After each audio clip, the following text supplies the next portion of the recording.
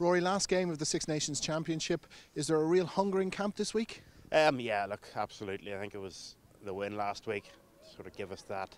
So it was a bit of the monkey off our back to get the win in the championship. And look, we've trained really well, probably since the England game especially. And uh, you know, I think there's a real hunger and desire to finish this campaign off strong, um, to keep improving and, and to keep getting better at the things that, that we haven't done so well in this championship and really the stuff that we have done well to see how much better we can be at that as well.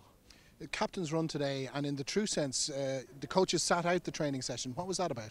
Uh, it was just, I suppose, to change things up a little bit. You know, it's been a long campaign, and um, I think the more you can freshen things up and the more you can change and challenge people, the better. This was just another another little thing. It's sometimes something we do away from home as well. We just we've done it here, and uh, like it's when you have decision makers like Johnny in there, it's easy. You know, we just sit down, see what we want to do, and, and just go through it. And, and like I said, just it keeps the boys from going into autopilot the day before the game, and it gets them gets them out of bed, I suppose.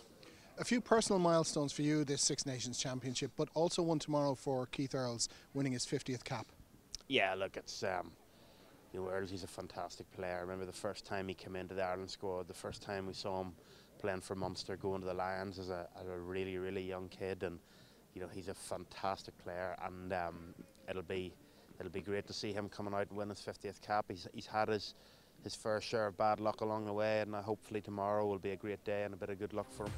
All right, best of luck.